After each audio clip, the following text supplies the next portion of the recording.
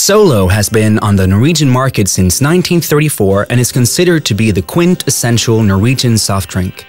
But as competition from global brands has gotten tougher, Solo has become less relevant for Norwegians. Perceived as great tasting but insignificant and outdated, what could be done to make Norwegians proud of their national soft drink again?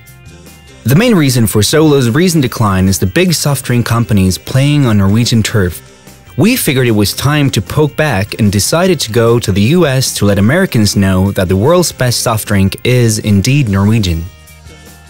We started running a billboard campaign in Hollywood while sampling crews handed out Solo in various neighborhoods of LA. The sampling was turned into a TV ad where Norwegians were encouraged to go online to make their own Solo ads and let America know that the best soft drink in the world is in fact Norwegian. Everyone contributing got their 15 seconds of fame as the ads were broadcast to a digital billboard on Sunset Boulevard. On the campaign site, Norwegians taking part could then see themselves vouch for Solo on the billboard in real time, look at video footage of the LA sampling, and follow buzz about Solo in social media.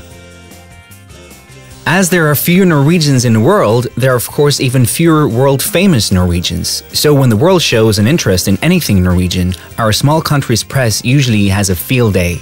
And when we had several Hollywood celebrities name drop Solo's ongoing campaign on Twitter, Norwegian media went nuts.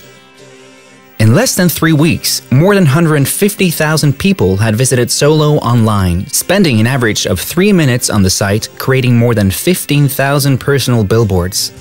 At the same time, Solo went from no presence on Facebook to having almost 10,000 likes.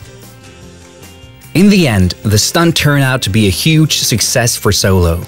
The idea of their small national soft drink making a bold statement abroad resonated well with young Norwegians who, like Solo, know that coming from a small country doesn't prevent one from thinking big and dreaming out loud.